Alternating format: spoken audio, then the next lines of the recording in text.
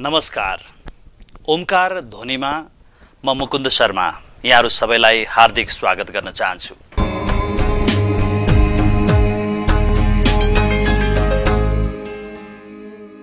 पक्कै पनि दर्शकवृन्द ओमकार ध्वनिले विशेष व्यक्तिसँग विशेष बहस ओमकार ध्वनिमा गर्ने क्रममा आज हामीसँग एक त्यस्ता व्यक्तित्व हुनुहुन्छ।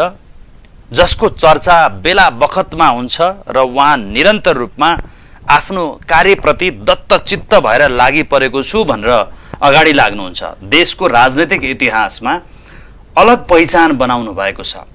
कतिले उहाँलाई अत्यन्तै राम्रो व्यक्ति भन्छन् कतिले उहाँलाई विभिन्न आलोचनामा समेत ल्याउने गर्दछ।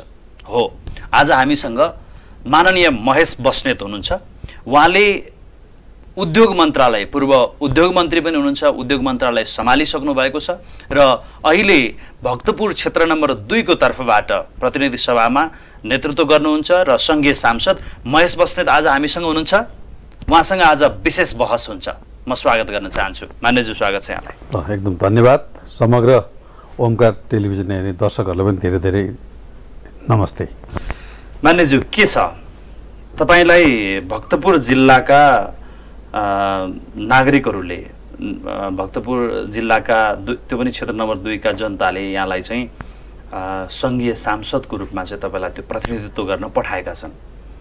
पूर्व उद्योग मन्त्रालय पनि यहाँले चाहिँ सम्हालिसक्नु भएको अनुभव पनि तपाईँसँग छ।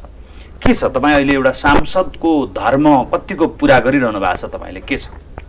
हाम्रो जस्तो एउटा विकासोन्मुख मुलुक जसलाई हामी विकसित मुलुकको रूपमा यसलाई परिवर्तन गर्ने रूपान्तरण गर्ने सङ्कल्पका साथ राजनीतिमा लागेका छौँ।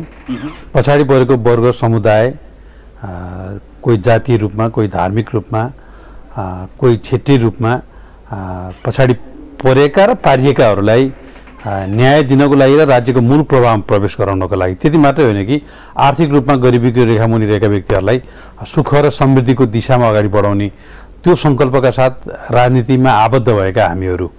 जसले नेपालको राजनीतिक परिवर्तनमा आफ्नो ठाउँबाट विविध हिसाबले चाहे त्यो सङ्घर्षको दौरानमा होस् चाहे त्यो आन्दोलन अथवा अन्य दौरानमा होस् आफ्नो तर्फबाट हामीले भूमिका खेल्यौँ। र त्यो भूमिका खेल्ने दौरानमा जनताले विश्वास दिएको कारणले जनताले पत्याएको कारणले आज हामी मुलुकको विधान निर्माण गर्ने एउटा विधायकको हिसाबले पनि प्रतिनिधित्व गरिरहेका छौँ।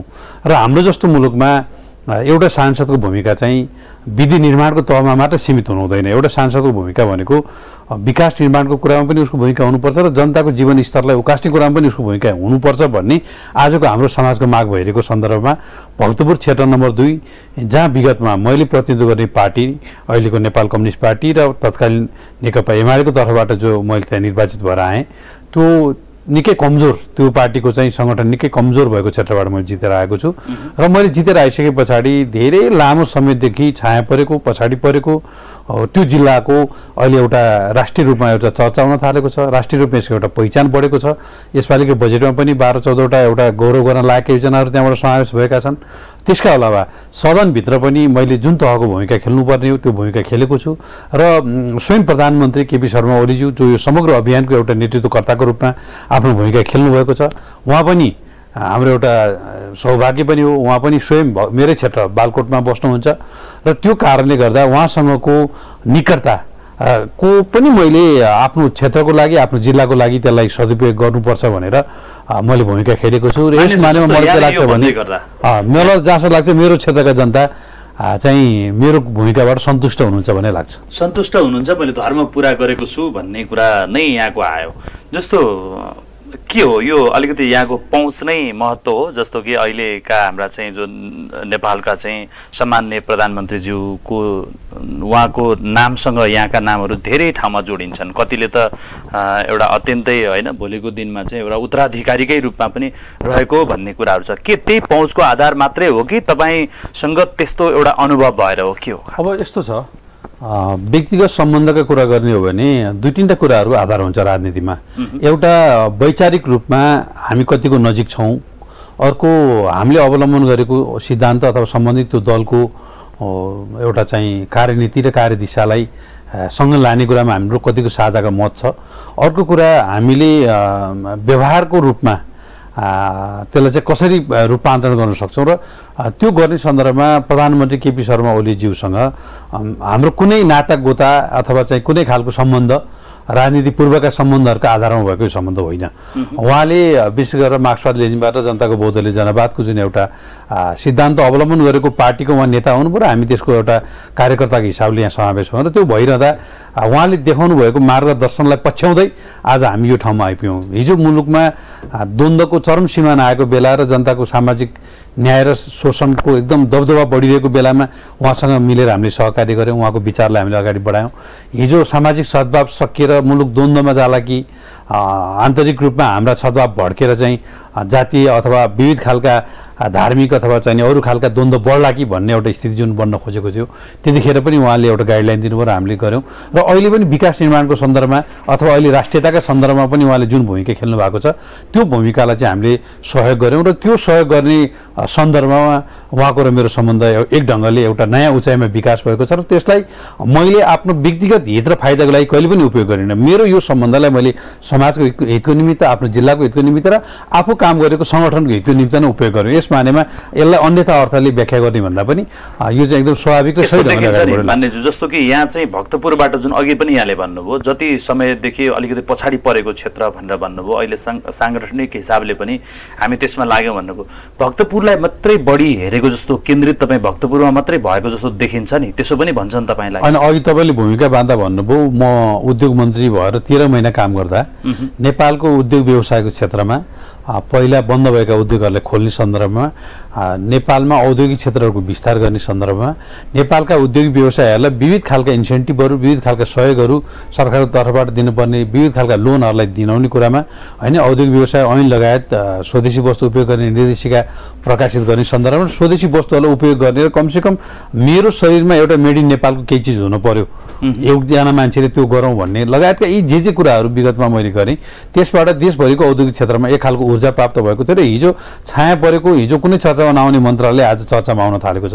त्यसै गरी मैले युवा सङ्घको भूमिका निर्वाह गरिरहँदा मुलुक एउटा संवेदनहीनतामा परिणत भएको थियो। मुलुकमा द्वन्द्वको चरम स्थिति थियो अन्याय अत्याचार थिचोमिचो अत्याधिक थियो अनेक खालका विकृति विसङ्गतिहरू व्याप्त थिए। त्यो दौरानमा मैले आम युवाहरूलाई एउटा रचनात्मक ढङ्गले सङ्गठित गर्दै उनीहरूलाई एउटा रूपान्तरण गर्दै उनीहरूको गलत बाटोमा हिँडेको छ भने पनि त्यसलाई सही ट्र्याकमा ल्याउने लगायतको भूमिका पनि खेलेँ। र पछिल्लो बेला आज मलाई पार्टीले भूमिका चाहिँ भक्तपुरमा केन्द्रित रहेर आफ्नो भूमिका देखाउने खालको जि दिइसके पछाडि मलाई लाग्छ मैले भक्तपुरमा इमान्दारिताका साथ काम गरेको छु। यसको मतलब के हो भने म भक्तपुरमा मात्र सीमित भएको छैन। भक्तपुरको कामले मेरो विशेषता के देखिएको हुनुपर्छ भने यसलाई जहाँ जिम्मा दिए पनि त्यसले त्यहाँ चाहिँ एकदम घोप्टिएर हुन्छ नि यो आई कभर लगाएको घोडा भन्छ नि घोडालाई चाहिँ एउटा आँखामा यस्तो आई कभर लगाइन्छ त्यसले चाहिँ आफ्नो लक्ष्य मात्रै देख्छ। म पनि आ, राजनीतिक आ, मा अथवा जुनसुकै काममा पनि म आफ्नो लक्ष्यमा एकदम केन्द्रित भएर काम गर्ने भएको हुनाले मूलत मैले भक्तपुर दुईमै केन्द्रित रहेर काम गरिरहेको छु। त्यसका अलावा मैले अन्य क्षेत्रमा पनि अहिले पनि तपाईँले भन्नुभयो प्रधानमन्त्रीकोलाई सहयोग गर्नेदेखि लिएर राज्यका अरू क्षेत्र अरू निकायहरूमा पनि मैले आफ्नो सक्दो सहयोग चाहिँ मैले गरेको छु। र जो मान्छे म कहाँ आउनुहुन्छ जसले मबाट सहयोगको अपेक्षा गर्नुहुन्छ। मलाई लाग्छ म अहिले खाली हात उहाँहरू कसैले पनि पठाउनु अलिकति जस्तो यहाँले यो यो भन्दै गर्दा जस्तो यहाँले चाहिँ कैयौँ महिना चाहिँ मान- मानव अठार महिना यहाँले चाहिँ उद्योग मन्त्रालय सम्हाले भनेर भन्नुभयो। तेह्र महिना। सम्हाले भन्नुभयो। यो तेह्र महिनामा चाहिँ यहाँले उद्योग मन्त्रालय सम्हाल्दाखेरि जुन गरेका उपलब्धिहरूले त्योभन्दा पछाडि कस्ता चाहिँ उपलब्धिहरू हासिल गरे त तपाईँका कर्मले गर्दा के छ? अहिले तपाईँले जुन सेनिटाइजर प्रयोग गरिरहनु भएको छ त्यो चाहिँ औषधि लिमिटेडले बनाएको सेनिटाइजर हो। र संसारमा सेनिटाइजरको अभाव भएको बेला औषधि लिमिटेडले त्यो बनाउन थाल्यो र त्यसलाई लामो समयदेखि बन्द भएको थियो त्यसलाई खोल्ने प्रक्रिया। त्यो लगायत छवटा उद्योगहरू खोल्ने प्रक्रिया त्यो दौरानमा नै सुरु भएको थियो होइन? प्रत्येक जिल्लामा एउटा औद्योगिक क्षेत्र बनाउनु पर्छ र प्रत्येक निर्वाचन क्षेत्रमा एउटा औद्योगिक ग्राम भन्नेको थियो। अहिले सरकारले त्यसलाई विस्तार गरेर स्थानीय तहमा भनेर यसपालि पनि तिन सयभन्दा बढी औद्योगिक ग्राम निर्माण गर्ने बजेट यो बजेटमा पनि सरकारले ल्यायो होइन। त्यो कन्सेप्ट ल्यायो। त्यस गरी हाम्रा औद्योगिक क्षेत्रहरू एघारवटा बढी औद्योगिक क्षेत्रहरू थिए। ती औद्योगिक क्षेत्रहरूको अवस्था साह्रै जीर्ण थियो। त्यो औद्योगिक क्षेत्रभित्र पूर्वाधार निर्माणदेखि लिएर त्यहाँ रहेका झन्डै पाँच सयभन्दा बढी उद्योगहरूलाई नियमित सञ्चालन गर्ने कुरामा एउटा महत्त्वपूर्ण भूमिका हामीले खेल्यौँ होइन? त्यसै गरी विशेष गरेर उद्योगिक व्यवसायहरूलाई नेपालले खास धेरै महत्त्व नदिरहेको बेलामा हामीले उद्योग दिवस मनाउने एउटा उद्योगीहरूलाई पनि एउटा महत्त्वपूर्ण व्यक्तिको को पहिचान दिने जस्तो सिंहदरबार छिर्दाखेरि पनि कुनै उद्योगपतिको कार्डले छिर्न नसक्ने अवस्था थियो भने त्यो कुरादेखि लिएर जस्तो आइआइपी भनेको चाहिँ industrial important person VIP CIP भन्ने चलन थियो होइन? Commercial important person. व्यापार गरे मान्छेलाई कमर्सियल इम्पोर्टेन्ट पर्सन दिइन्थ्यो तर इन्डस्ट्री उद्योग गरेको मान्छेलाई आइआइपी दिन चलन थियो त्यो आइआइपी दिने कुरादेखि लिएर विशेष गरेर स्वदेशी वस्तु स्वदेशी चाहिने उत्पादनहरूलाई कच्चा पदार्थको रूपमा उपयोग गर्ने उद्योगहरू विदेशमा निर्यात हुने उद्योगहरूलाई प्रोत्साहन गर्ने उद्योगहरू अत- अत्याधिक रोजगारी सिर्जना गर्ने उद्योगहरूलाई चाहिँ प्रोत्साहन दिने उहाँलाई पुरस्कार दिने लगायतका कुराहरू होइन? अब त्यसै गरी औद्योगिक प्रबन्धन बोर्ड लामो समयदेखि थला परेको थियो त्यसलाई नियमित गर्ने विदेशी लगानीहरूलाई नेपालमा खुल्ला गराउने जस्तै लगानी सम्मेलन दुईवटा कन्टिन्यू भयो। त्यो मेरै पालाको एउटा कन्सेप्ट थियो। भूकम्प पछाडि थिथिलो भएको उसलाई चाहिँ एउटा लगानी सम्मेलन गर्ने काम पनि गऱ्यौँ होइन? औद्योगिक व्यवसाय ऐन ल्याउने कुरामा हामीले भूमिका खेल्यौँ। स्वदेशी वस्तुलाई स्वदेशी उद्योगहरूलाई प्रोत्साहन दिने साना तथा घरेलु उद्योगमा चाहिँ मलाई लाग्छ म छँदाखेरि तिन अर्बको हाम्रो बजेट थियो भने त्यो दौरानमा मैले नौ अर्बको बजेट एकै वर्षमा चाहिँ बढाउने स्थिति गर्व बनाएको, साथ होइन? भन्न सक्नुहुन्छ जस्तो कि जति पनि मन्त्रालयहरू जति पनि मन्त्रीहरू आउँछन् त्यो मन्त्री परिषद परिवर्तन हुने बित्तिकै उनीहरूले ल्याएका योजनाहरू मरेर गएका अथवा कतैतिर गएर थन्किएको परिवेश छ। नयाँ नयाँ त्यो पदमा छौन्जेल मात्रै ऊर्जाका कुराहरू ल्याउने अनि मन्त्रालय परिवर्तन हुने बित्तिकै त्यो चाहिँ त्यो योजनाहरू चाहिँ मरेर गएका अथवा त्यसै बसिरहेका छन्। तर यहाँले ल्याउनुभएका योजनाहरू चाहिँ निरन्तर अगाडि बढेर आजको दिनसम्म आइसकेका छन् अथवा यसो खुलेर भन्न सक्नुहुन्छ? एकदम। त्यतिखेर जे काम मैले गरेँ म तैले तपाईँले अहिले पनि उद्योगी व्यवसाय साथीहरू र त्यहाँका उद्योग मन्त्रालयका कर्मचारी साथीहरू उद्योग विभागका अथवा घरेलुका साथीहरूले भेट्नु हो भने उहाँहरूले मेरो बारेमा एकदम सही मूल्याङ्कन गर्नुहुन्छ। धेरै साथीहरूले के भन्नुहुन्छ भने सायद तपाईँ जतिको ऊर्जा भएको मन्त्रालयमा त्यो मन्त्री हामीले प्राप्त गर्न सकेनौँ कि भन्ने पनि उहाँहरूले भन्नुहुन्छ होइन? र मलाई के लाग्छ भने त्यो दौरानमा हामीले जे काम गरेका थियौँ त्यो जगमा उभिएर पछि आएका मन्त्रीज्यूहरूले पनि त्यसलाई निरन्तर दिनुभएको छ। त्यो चाहिँ एउटा खुसीको कुरा पनि हो र मलाई लाग्छ उद्योग मन्त्रालयले अहिले जति प्रगति गरेको छ त्यो चाहिँ नि त्यो दौरानको एउटा राम्रो कामको शुभारम्भको चाहिँ एउटा निरन्तरता पनि हो भने